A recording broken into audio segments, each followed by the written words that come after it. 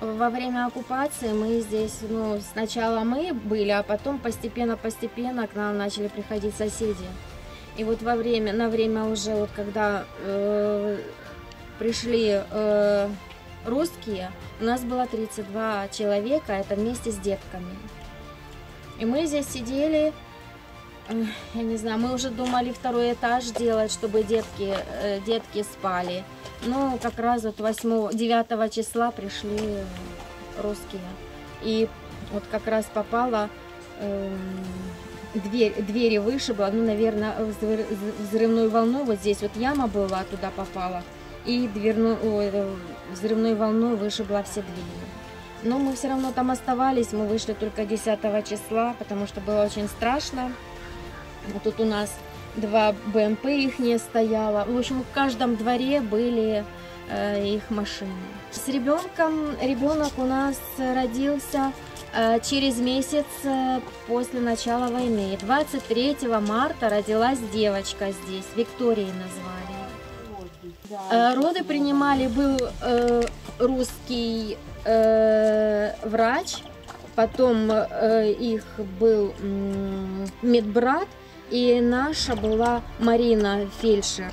Но в основном она была, принимала роды, потому что у них было все вот это вот, э, ну, как бы лекарство было Все. на всякий случай, если вдруг какие-то, ну, может, тяжелые роды. Но в основном она принимала роды. Они просто ну, на всякий случай сидели. А, они просто, что э, она родила, она недолго побыла, до вечера, может, а потом ее перевезли на ту сторону, потому что там не так бомбили. И там, ну, они пришли в дом, э, ну, можно было в доме жить, там газ был, чтобы ребенку сварить что-то было. Они, ну, как бы мало в погребе сидели, а здесь мы в основном в погребе сидели.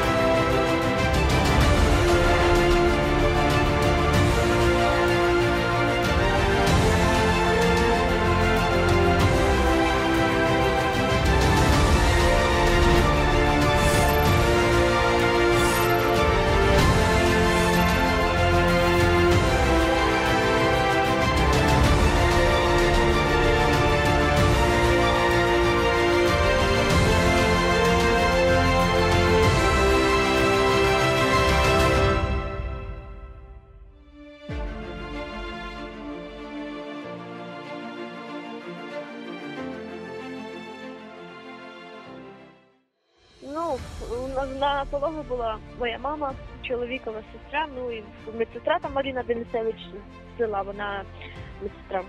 Ну, це. Ну і прийшлося загукати російського лікаря, так як у нас ніяких не медикаментів не було, ну тобто у нас не було нічого, тому що ті речі, які я готувала на пологі, ми свого будинку перенесли до сусідки, тому що в нас жили. Ну ми надіялися на те, що сюди туди попаде снаряд, ну і все. А в ітогі ми коли перенесли свої речі, то через день, по-моєму, в сусідки в хату попав снаряд і в неї все горіло, в нас я ж кажу, нічого не залишилося. У медпункті вони все розбомбили, також ну, там нічого було взяти, якщо чесно. І отож прийшлося Я... Якщо чесно, чесно, то ні. Ми надіялися до останнього, що я ну, що я буду реалізувати це. Мені ще потрібно було 24 лютого їхати в лікарню, у мене планове було до лікаря.